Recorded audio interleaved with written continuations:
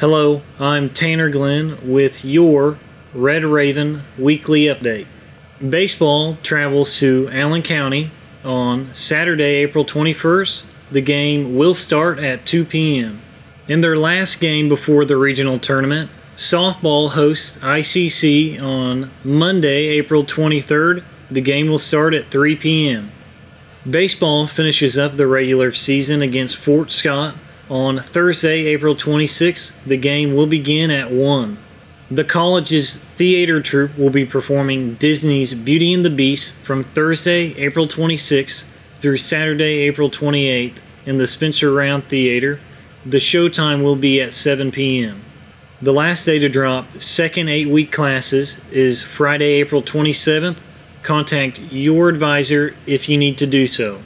Track finishes up their regular season with a trip to Missouri Southern for the MSSU Invitational on Friday, April 27th. A reminder that enrollment for the summer sessions and fall semester is now open. Talk with your advisor for more information.